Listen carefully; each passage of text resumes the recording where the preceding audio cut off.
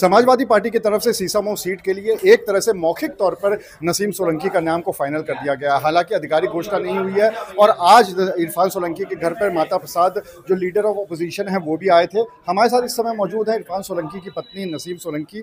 नसीम जी आ, सबसे बड़ी बात आप खुद गई थी वहाँ पे आप अखिलेश जी से मिली भी थी बैठक भी हुई थी मौखिक तौर पे आपके नाम की भी घोषणा हुई थी।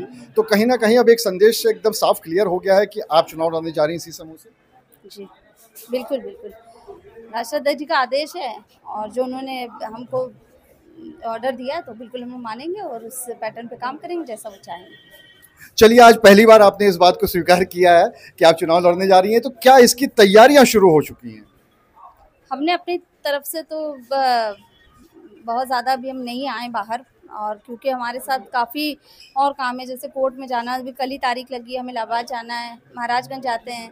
क्योंकि विधायक जी के लिए हमारी सबसे बड़ी ज़िम्मेदारी है। तो वहाँ पर भी हमको जाना होता। तो खैर, शहर में संगठन और जो है हमारे कार्यकर्ता सब मेहनत कर रहे हैं और जब वक्त आएगा, चुनाव की घोषणा होगी तो फिर हम भी आ जाएँगे।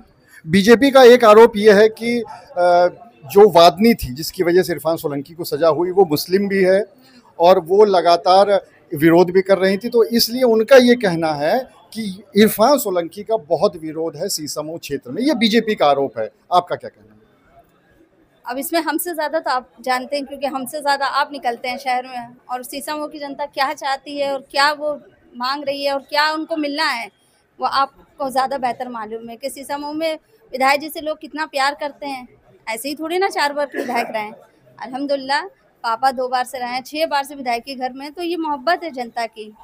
बस, हमें इससे ज़्यादा कुछ नहीं कहना है। अब वो चाहे जो कहे पार्टी हर पार्टी अपने तरफ़ से कोशिश करती है मेहनत करती है और बाकी जो फैसला होगा सीसामऊ की जनता करेगी। बस अब एक आखिरी सवाल कि आप चुनाव लड़ने जा रही हैं तो सीसामऊ की जनता के लिए कोई संदेश क्योंकि आपने पहली बार स्वीकार किया है कि आप लड़ने जा रही हैं तो कुछ कहना चाहेंगी? जी। बस हम दुआओं की दरख्वास्त है सबसे सबसे गुजारिश करेंगे कि पहले तो विधायक जी के लिए दुआ करें कि उनको स्टे मिल जाए उनको जो है जमानत मिल जाए बाहर आ जाए। और नहीं है तो जो ये लड़ाई है वो इरफान सोलंकी की हम लोग सब मिल के लड़ रहे हैं। एक पर्टिकुलर चेहरा नहीं है और पर्टिकुलर नाम नहीं है।